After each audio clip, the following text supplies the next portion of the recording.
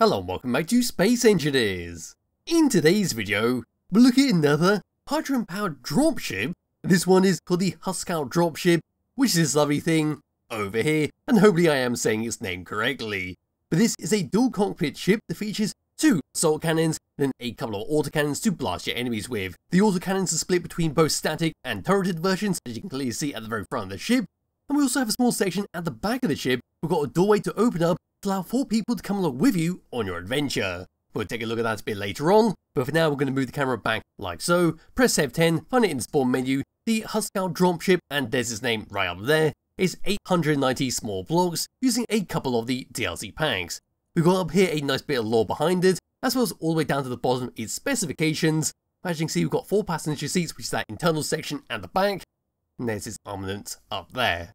So going to give this thing a thumbs up, there we go. Before we go and have a look at the very front, what I'm going to do is just pan the camera all the way around, because this is the skybox I'm currently using, as these very big, sort of semicircle sections all the way around, and there will be a link to it in the description below if you are interested in it. It has a very wide variety of yellows, and makes everything very bright and colourful. Anyway, back to the vehicle, here it is, all the way down for the very front, and here we are.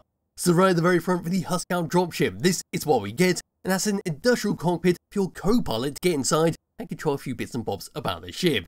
The main controls are in the fighter cockpit right up there, and as you see between them we do have a top-mounted camera to help precisely aim our guns.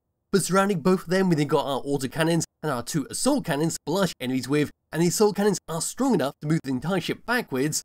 So for a quick demonstration, taking over that and firing them, there we go. And we're back to the free camera, down to here. On the left and right, we then got some spotlights to light up the darkness. To get a big closer look over onto the side here, past our turret, assembly has all been set up. Come up slightly, over to here, and there's our fighter cockpit. If we come down onto the side, here we come all the way around, there's a very clear view of our assault cannon and our auto cannons on each side. We also got magnetic plates below there to clamp ourselves down. Below the main body, there's our connectors to actually dock up and refill our hydrogen, which could be very much needed to make sure this thing can get in and out of atmosphere and above there, there's our doorway for our passengers are going to come along with us. Put the camera all the way through, here we go. So we've got four seats, two on both sides, then also on both sides, splitting them up, and then got our weapon locker to store your guns and ammunition inside. We'll come back to this a bit later on. Anyway, across the here onto the side, here's our main hydrogen thruster pod, which features a bunch of hydrogen tanks, small hydrogen thrusters, large hydrogen thrusters. There's a fantastic use of our beam blocks, or these scaffolding blocks, giving all the way around, adding a bit of decoration all around towards the very back of this thing. Here we are. So we've got three large hydrogen thrusters to boost us around. And we can also see a turret at the top there to help protect the vehicle from behind. So say a drone or a modular system encounter enemy tries to sneak up behind you, you've got a little bit of defense to sure you can try and escape them, and we'll get your destination in one piece. Anyway, down to here we see another magnetic plate for an excellent antenna. Then we can also see some hydrogen engines right there and there, give it a nice bit of power. Moving all the way up, looking down, there we are. There's our hydrogen tanks, there's our hydrogen thrusters, and there's a fantastic look at our turret on top, as well as a couple of use of our beam blocks and our scaffolding blocks, is going all the way along towards our fighter cockpit. We've got our autocannons and assault cannons.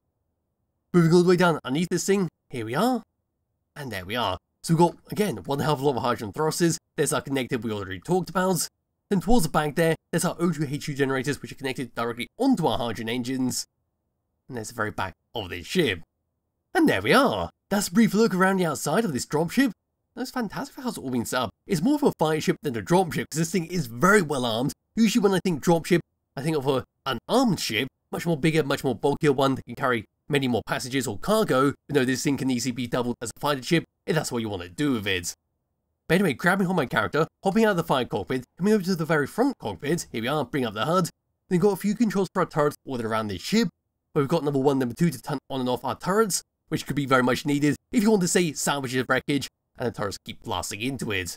Number 3 number 4 is going to be to manually control your turrets, so here we go, we now fire that straight forwards, there we go, and then coming over to number 4, there we are once again.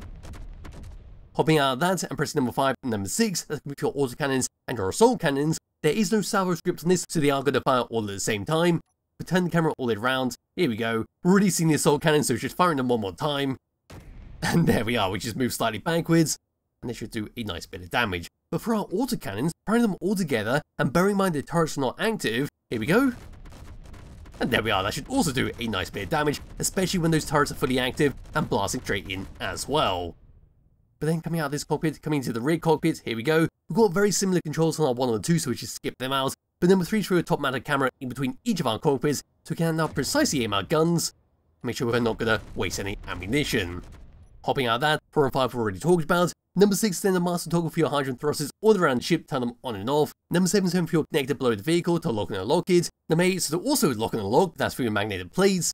And then number 9 is for your antenna turn on and off, depending if you want to be very sneaky or make yourself well known.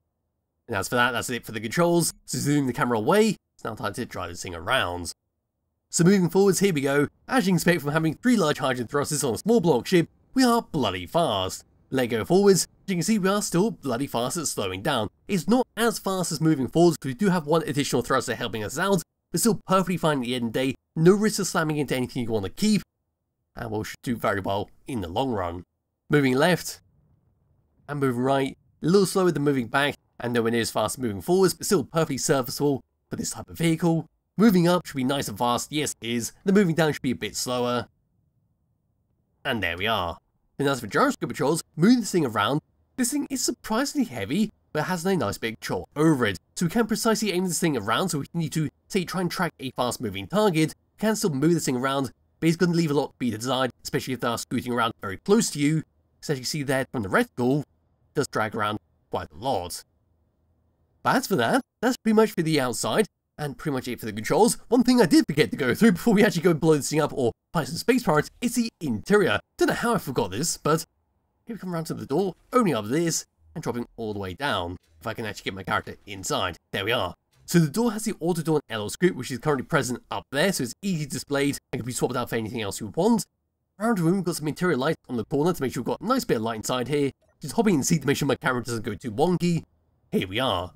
So four seats, two on both sides, web blocking in the middle, plenty of vent vents to make sure if one fails, you're not going to suffocate inside here. Then up there's a couple of gyroscopes, and of course that'll lead to our cockpit the front.